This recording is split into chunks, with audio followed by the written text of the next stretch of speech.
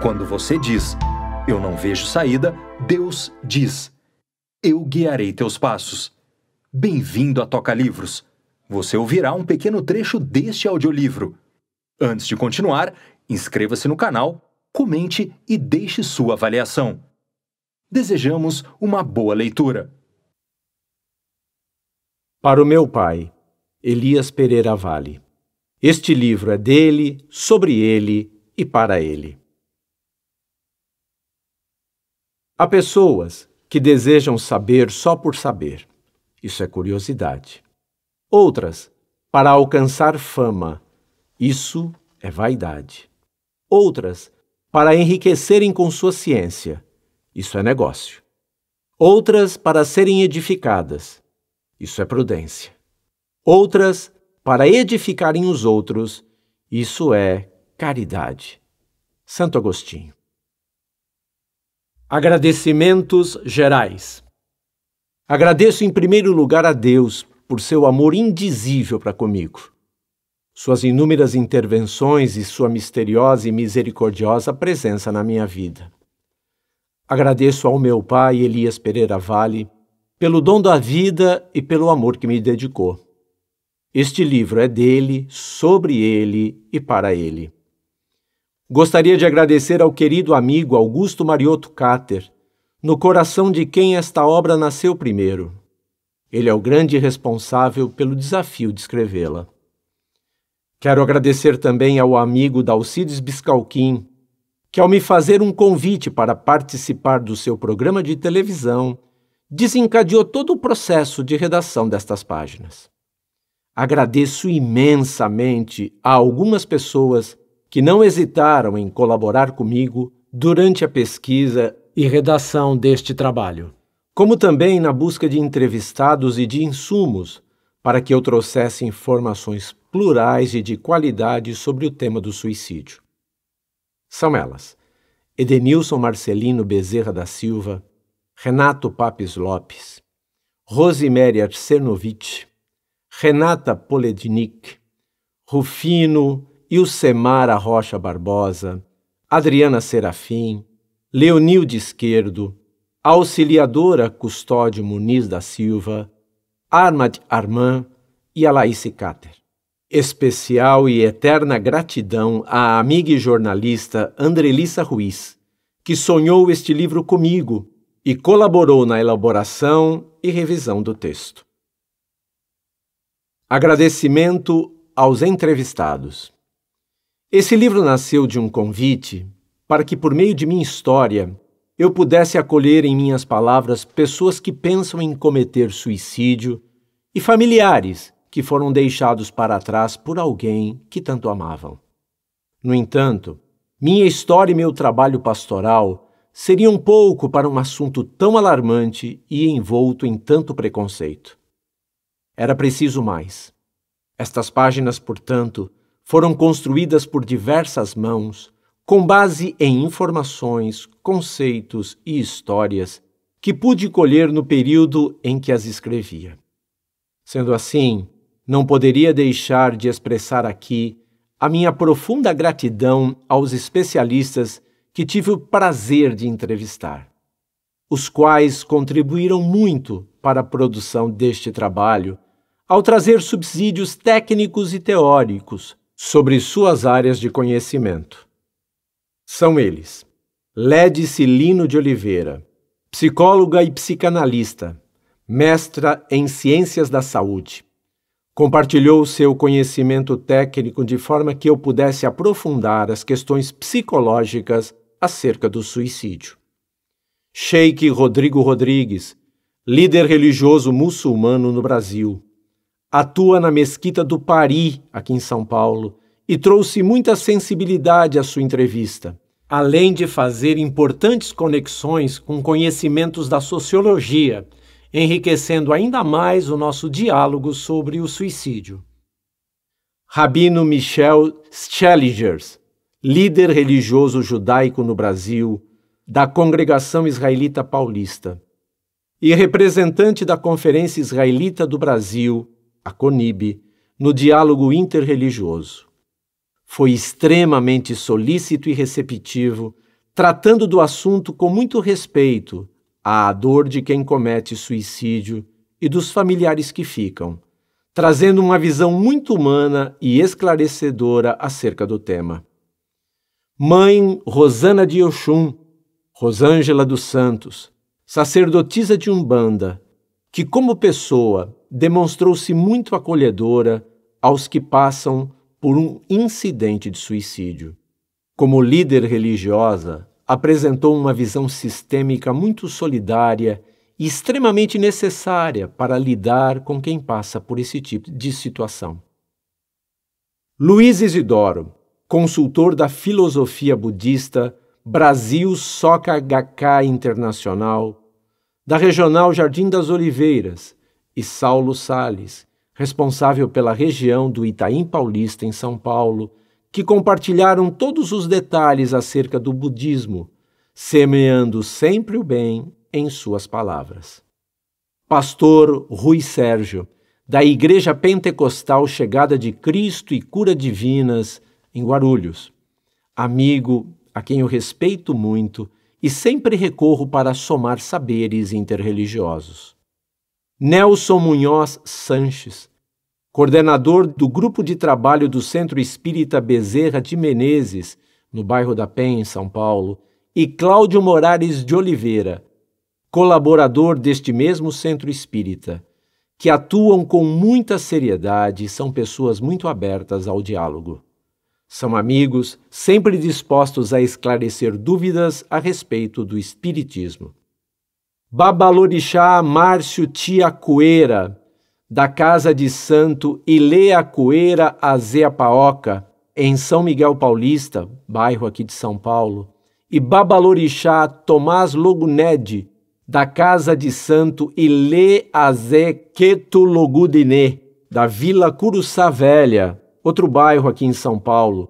Ambos se dispuseram a me receber e esmiuçaram cada detalhe do candomblé, uma religião tão rica em rituais e símbolos. Elza Lobo Lino de Oliveira, ex-secretária executiva da Associação Batista Leste da capital, São Paulo, uma pessoa muito comprometida e fundamentada, que trouxe importantes pontos para somar a esta obra, além de sua rica e longa experiência religiosa, que lhe dava devida segurança para nos contar também sobre seu lado humano e seus constantes aprendizados.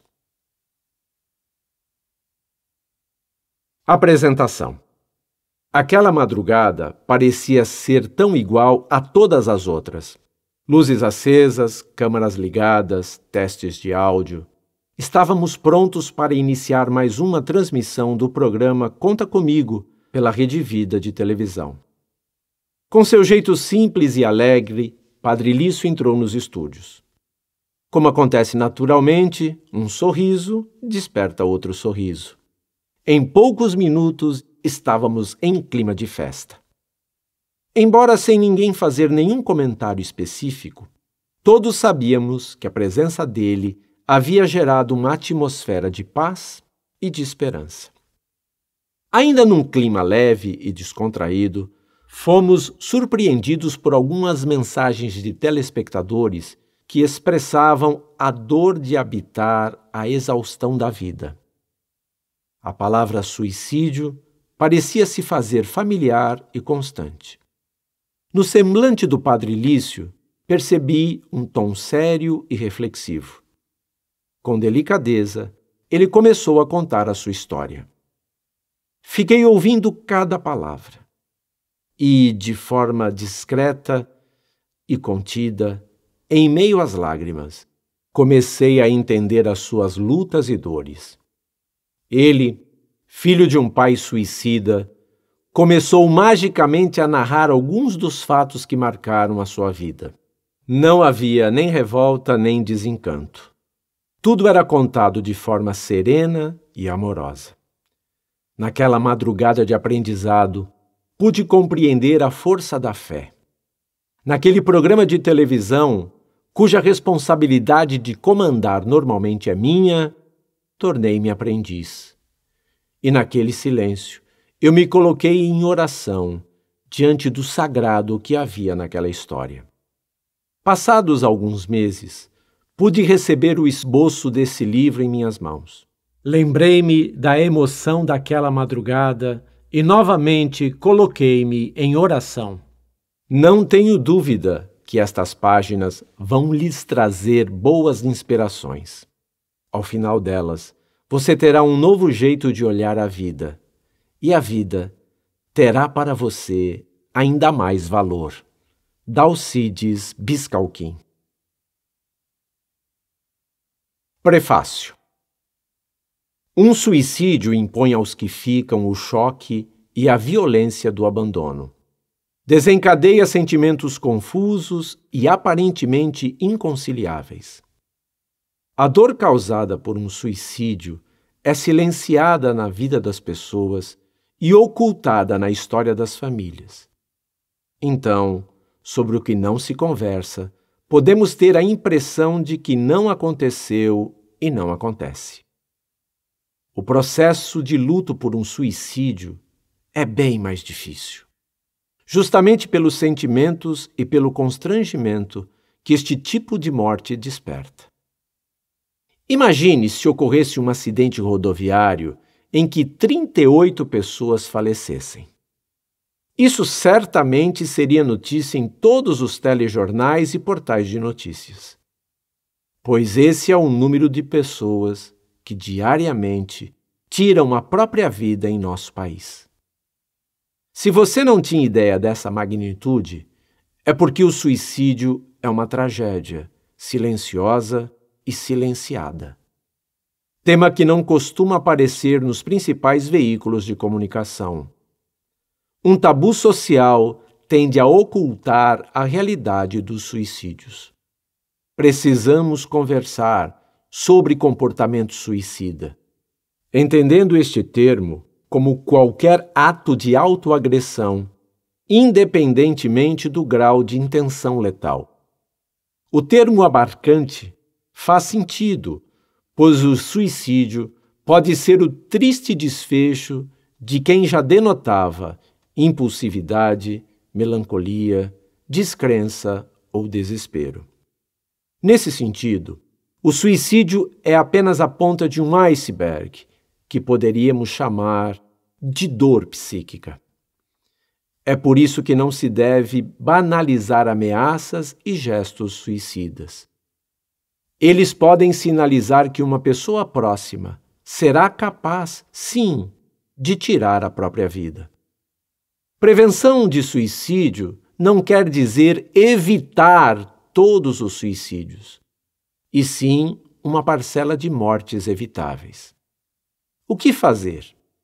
De modo simplificado, podemos dizer que três passos devem ser dados com o intuito de se prevenir um suicídio.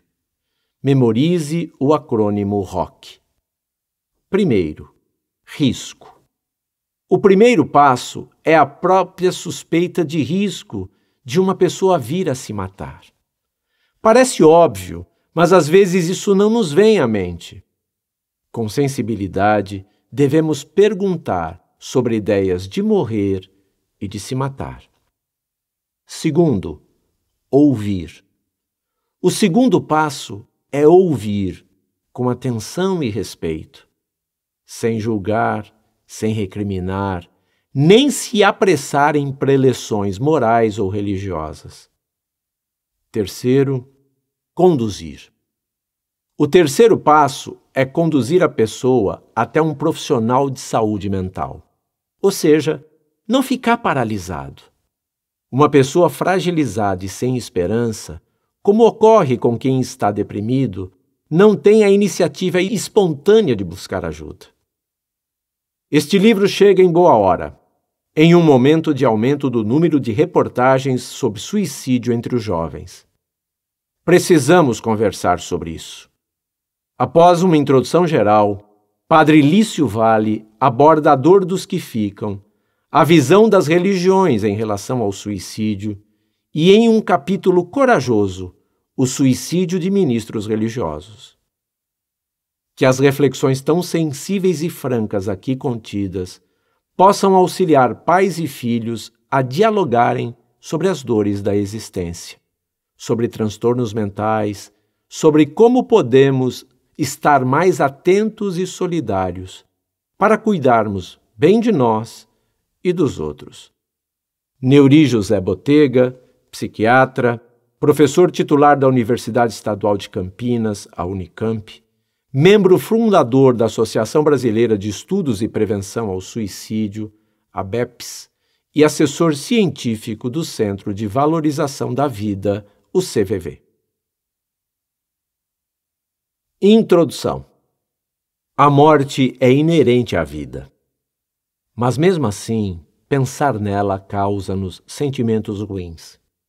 Sim, a morte é natural. Vai acontecer com todo mundo. No entanto, o que dizer sobre uma morte repentina pela qual ninguém espera? Neste caso, não estamos falando de um acidente, mas sim sobre suicídio o ato de matar a si próprio. O assunto é considerado tabu, por isso quase não se fala dele em lugar algum, nem mesmo entre as famílias que já perderam entes queridos dessa forma. O sentimento de tristeza profunda e as dúvidas que nunca serão respondidas tomam conta de quem fica. Foram deixados para trás, sem direito a despedidas, sem compreender os porquês. O suicídio é um ato complexo para ser analisado, podendo ser discutido sob os vieses jurídico, psicológico, social, religioso e filosófico, além dos aspectos subjetivos de quem foi deixado para trás.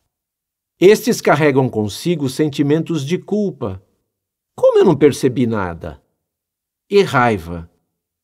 Como é que ele pôde fazer isso comigo?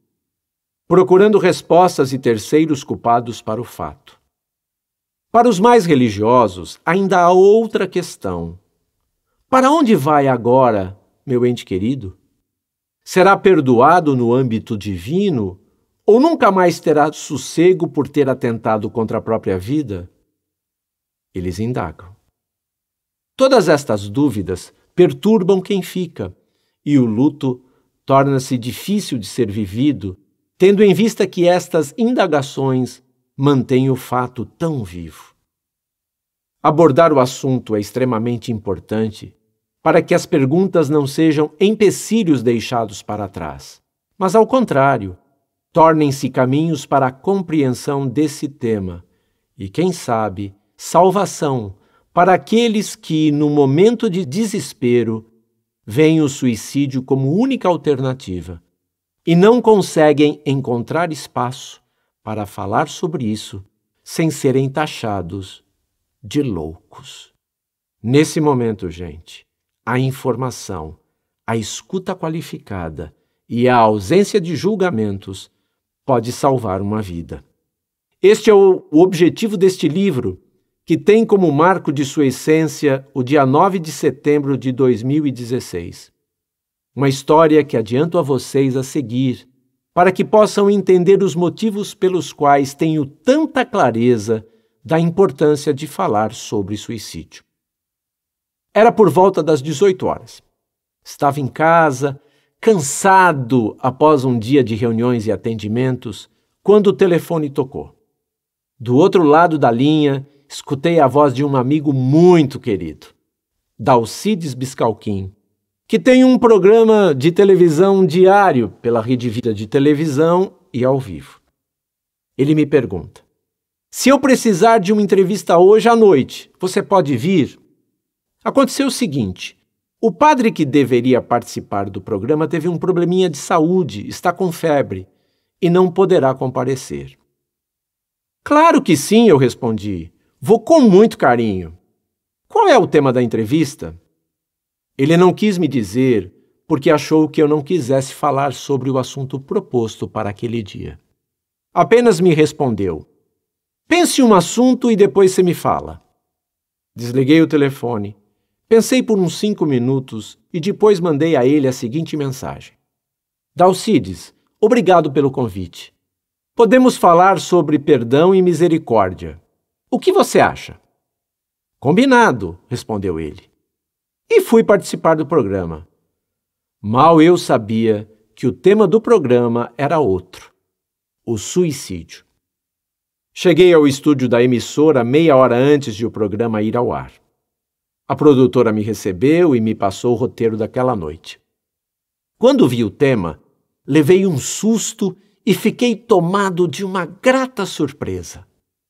Logo em seguida, Dalcide chegou, me cumprimentou e falou: Padre, o tema desta noite é o suicídio, porque hoje, dia 10 de setembro, é o Dia Mundial de Prevenção ao Suicídio.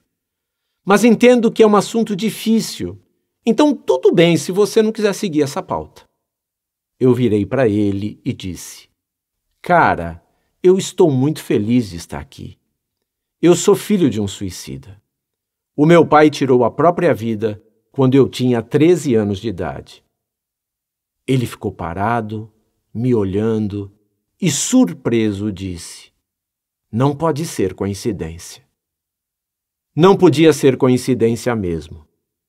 Foi a partir daí, e ao receber o convite para escrever este livro, que percebi o quanto é necessário desmistificar as questões que permeiam o ato do suicídio. Ainda mais eu sendo padre, pois me lembrei de uma das minhas inquietações quando pensava em meu pai. Será que ele está no inferno? Para alguém que tem fé, este pensamento é muito incômodo. Por isso, a abordagem no âmbito religioso também será um ponto deste nosso bate-papo em forma de livro. Digo bate-papo porque o ato de falar e escutar é essencial quando o assunto é suicídio. Uma vez, Padre Rui me disse que uma pessoa só se mata no auge do desespero. Penso então, como curar um desespero? Talvez diluir esse desespero em conversas com quem possa nos ajudar possa ser uma saída. Da mesma forma, quanto ao desespero de quem é deixado por alguém querido. Não há nada a fazer para ter a pessoa querida de volta, mas há muito a fazer para acalmar o coração e a mente. A ideia de escrever estas páginas nasceu exatamente do desejo de contribuir para lançar luzes sobre o problema do suicídio colaborar para que se fale mais a respeito da questão, aumentar a conscientização, partilhar como filho a experiência vivida pela minha família, cooperar com a superação do tabu em relação ao tema, defender a vida e divulgar a prevenção. O número de pessoas que buscam, na extinção da própria vida, a solução definitiva de seus problemas tem crescido assustadoramente. E sabemos que esse, sem dúvida, não é o melhor caminho. Esse livro tem o objetivo, portanto, de contribuir com informações sobre o suicídio, pois é consenso entre os estudiosos do tema que o conhecimento é a base da prevenção. O suicídio é uma questão e um problema de saúde pública, mas pode ser prevenido. Não se faz prevenção adequada sem informação consistente. Que esta leitura seja um convite para nos permitir falar de algo doloroso, mas respeitando a dor do outro, sem pré-julgamentos. É preciso também conhecer mais sobre o assunto.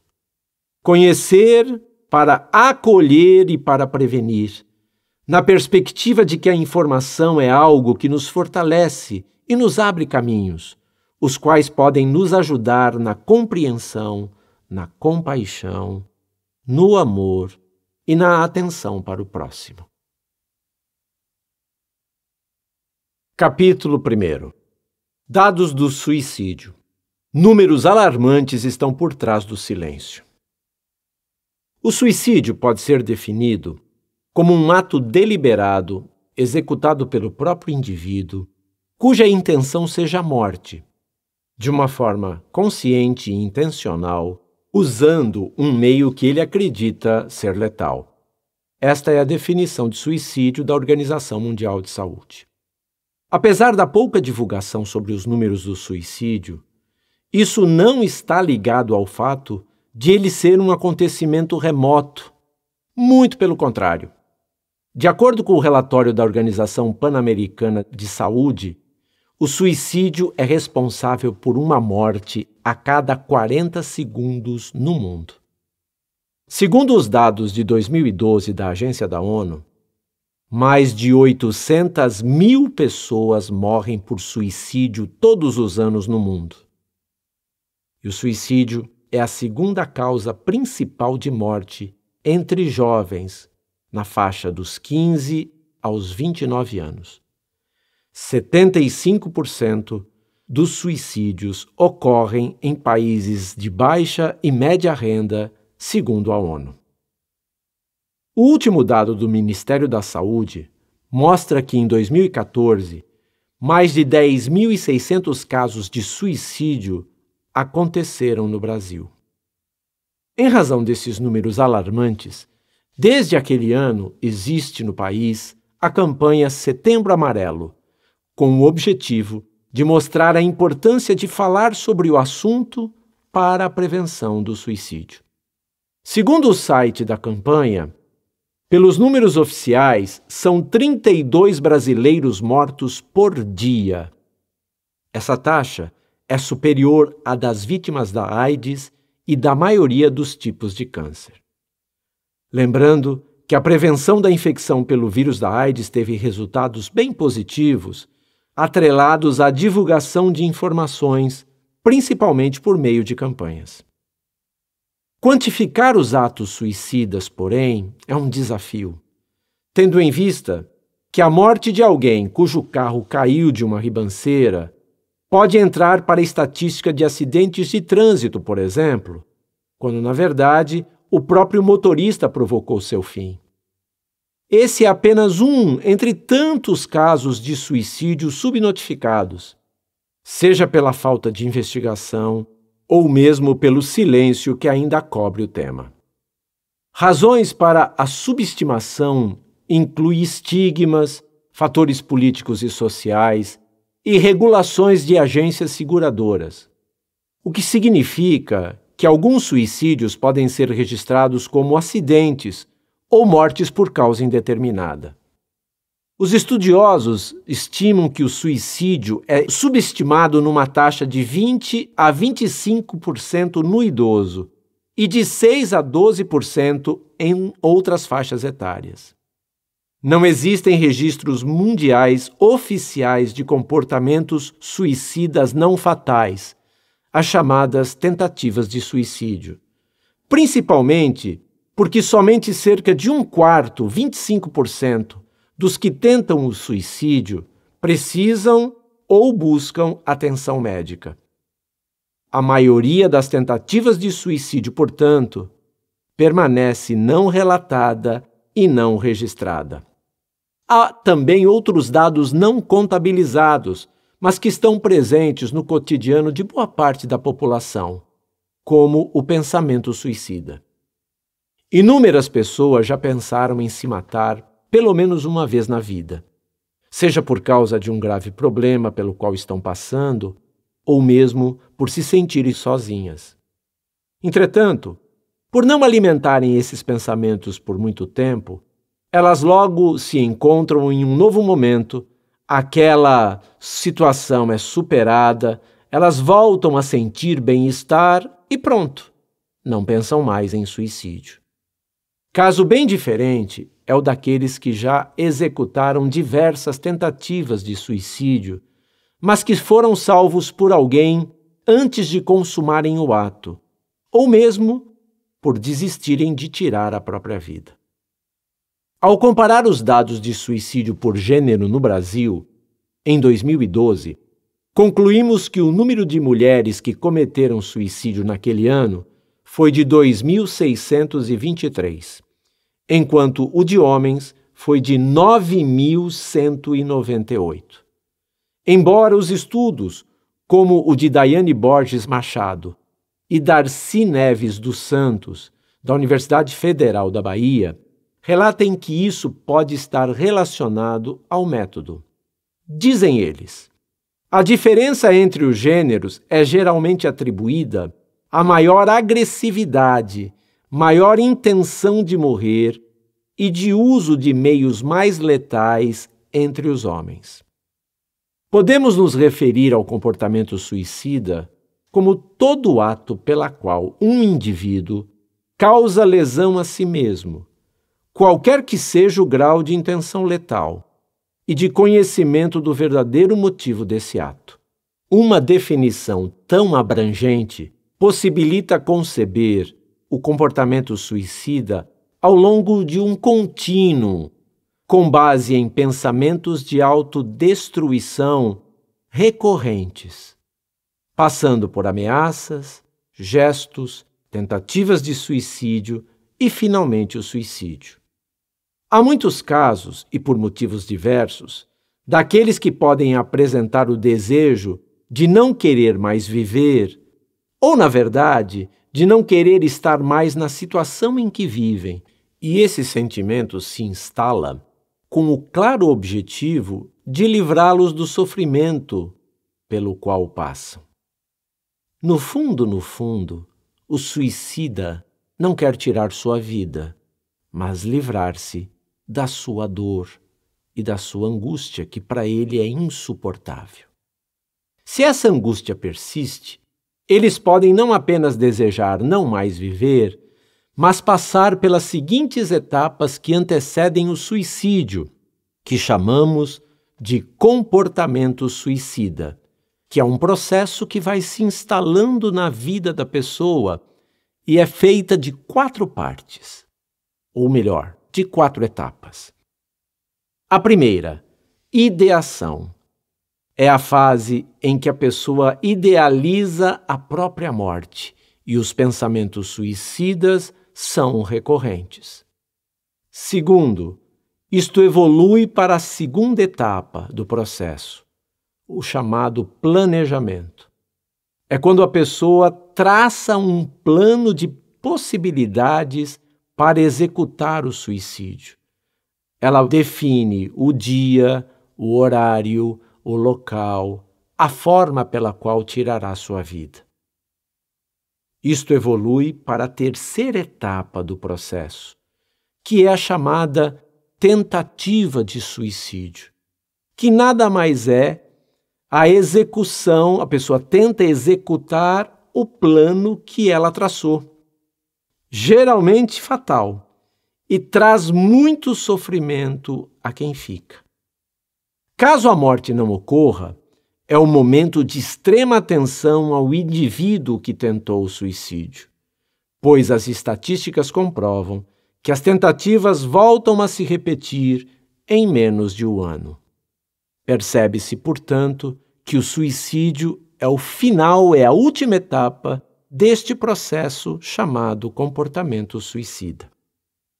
Se você conhecer alguém que atentou contra a própria vida, Oriente a pessoa a buscar ajuda especializada e esteja sempre próximo para oferecer uma escuta fraterna. É importante que essa pessoa perceba que o sofrimento insuportável que ela sente pode ser revertido com o apoio de amigos e profissionais.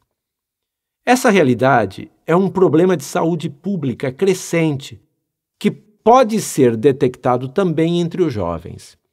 Segundo a pesquisa Violência Letal contra Crianças e Adolescentes do Brasil, realizada de 1980 a 2013, o suicídio de crianças e jovens até os 19 anos, pasmem, aumentaram de 0,2% para 1%.